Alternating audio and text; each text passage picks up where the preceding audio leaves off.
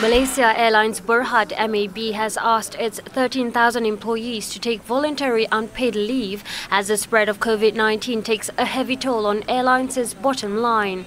When contacted, an spokesperson said the national carrier is offering all employees the option of taking three months no pay leave or five days no pay leave per month for at least three months starting April.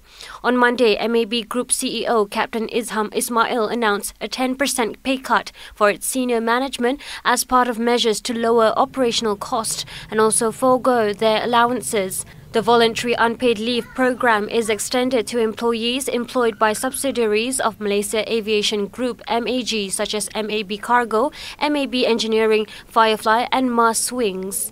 Already, major international airlines such as Singapore Airlines, Cathay Pacific, British Airways, Lufthansa, Emirates, Virgin Atlantic and EasyJet are offering staff unpaid leave.